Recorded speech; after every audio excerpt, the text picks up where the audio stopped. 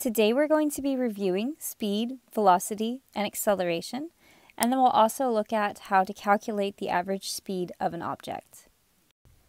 Let's look at speed first.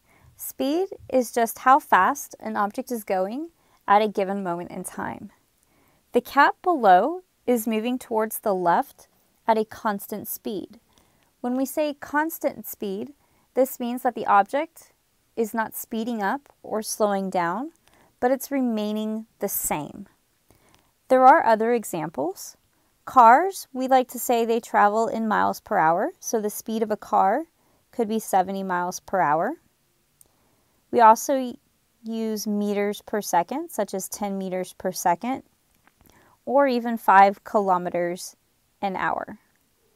There is also a formula that we use in order to calculate the average speed of an object, and that is speed is equal to the object's distance it traveled divided by the amount of time that it took the object to move the distance. This is abbreviated in the formula as S equals D divided by T.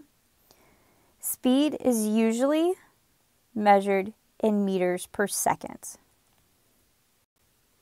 Let's go ahead and try to solve a practice problem. This example says a man walks 100 meters in 50 seconds. What is the man's speed? First, let's start by setting up our equation.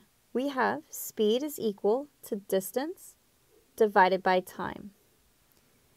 Going back into our problem, our d or distance is going to be 100 meters, and the time it took the man to walk the 100 meters is 50 seconds.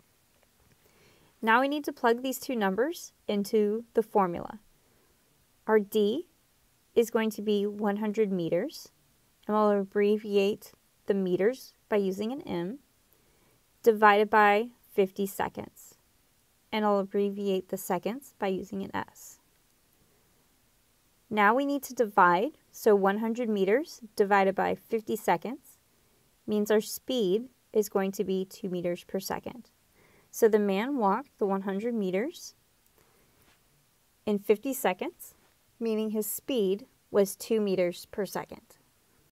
Now let's look at velocity. Velocity is just speed, but it also has a direction associated with it. That direction could be up, down, left, right, north, east, southwest, forwards, uh, backwards. So if we have a speed, let's say this bear is walking at 1 meter per second, that is going to be speed. Now, if we say the bear is walking at 1 meter per second to the right, that is going to be velocity. So once again, velocity is just speed, but it also has a direction with it. Finally, we have acceleration. Acceleration occurs when there's a change in an object's speed or the direction that it is traveling. Some examples of acceleration are speeding up or accelerating, but an object could also be slowing down or decelerating. Acceleration also happens when there's a change in an object's direction or if it stops moving altogether. Take, for instance, this astronaut. He's going around the Earth at a constant speed. But he has acceleration because he's always changing the direction that he's traveling. Sometimes he's moving downwards, other times he's moving towards the right, and then sometimes he's going back towards the left. So he is accelerating even though he's not changing speeds.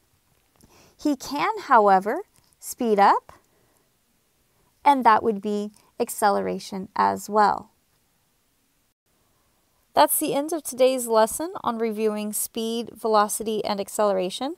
Please be sure to check your Schoology folder and find your assignment for today, as well as answering the discussion question.